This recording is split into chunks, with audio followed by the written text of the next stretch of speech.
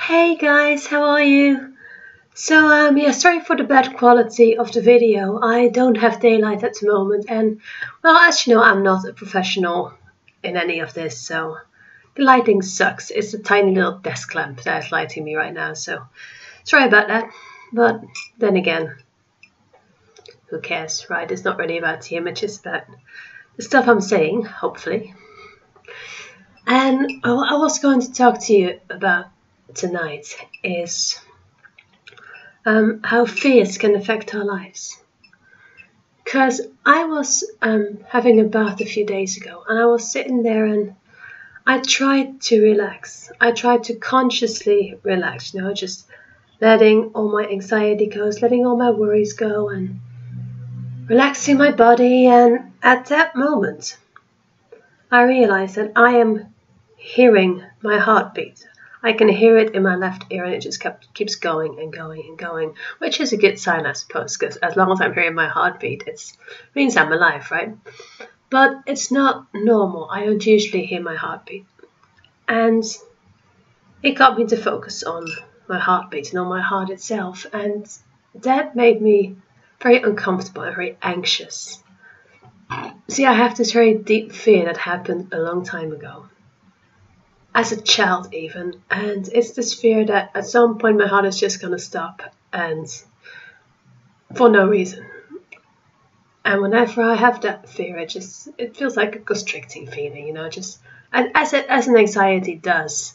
But if that is your anxiety then of course that's going to get worse and worse and worse. And you, you can't control it just by logical thinking like okay i'm young there's nothing wrong with my heart. I can actually uh, put two fingers to my jugular and just listen and count the heartbeats in the minute and realize that actually my heartbeat is incredibly calm and slow and that there's nothing I should worry about. So I can usually calm myself down enough. But sitting there in the bathtub trying to relax and having the exact opposite happening to me was pretty weird. So I decided at that point to pretty much face it head on and to just just figure out what happens. So I put my head under the water to really just get into the sound of my heartbeat, you know, and just hear it and feel what it does to me. And it's not pleasant, I can tell you that, but I just put my ears underwater and realize that to me, it's a sign of mortality. Hearing my heartbeat is like I guess maybe at the point of dying, the last thing you hear might be your own heartbeat.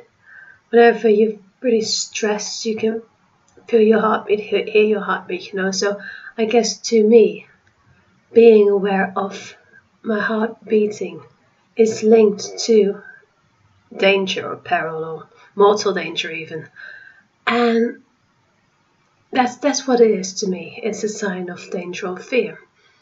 But in reality, there's more ways to look at it because in reality, as long as I'm hearing my heartbeat, I know that I'm alive. So it's a sign of life. And in fact, it's a sign of my life. So I should be really grateful that I'm hearing it. And it's very steady. It's, it doesn't falter. There's no skipping beats. It's, it's like it, it is like dancing to the beat of your own drum, as they say. So it is like my own little drum session that is just going on in my body. And and so I tried to look at it that way, and it was hard. I still felt anxious. Then I thought, well, this same sound is the sound that my mom heard when she was listening to the sonogram when I was sitting in her belly. And to her, it was the sound of hope, of life, of her future child. And so that makes my heartbeat the sound of love and joy and dreams coming true. And to realize that that can't be done. And I realized, okay, so that is another way to listen to my heart and to deal with that. I realized, well, my mum had hopes and dreams for me. And I have hopes and dreams for me. I know that I want to be a life coach. I want to be a spiritual coach. I want to blossom as a light worker, you know, and I know all that. I'm thinking, so basically, I am being afraid of the sounds that once stood for all those dreams becoming a possibility and setting forth into the future.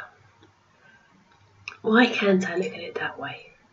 And the more I realize that, I taught myself, okay, this is the sound of the future, the sound of my dreams, the sound of my life, my possibilities, all the things I'm going to achieve, and all the things I have achieved. It is the dreams and the hopes of my future. It is the sound of the body I chose before I was born. It is the sound of the life I live and the life I can live in the future. It is the sound of the love that my parents had for each other and for me and still do. It is the sound of so much incredible things and opportunities and possibilities. And just realizing that immediately transformed a very, very intense and basic fear that has been with me for a very long time into an actual source of love and comfort simply by readjusting the way I chose to see it. Because fact is, I'm hearing my heartbeat. Fact is, it is unnerving to me at that point. But the same hearing of that same heartbeat was also joy to someone else a long time ago, someone who had great dreams for me.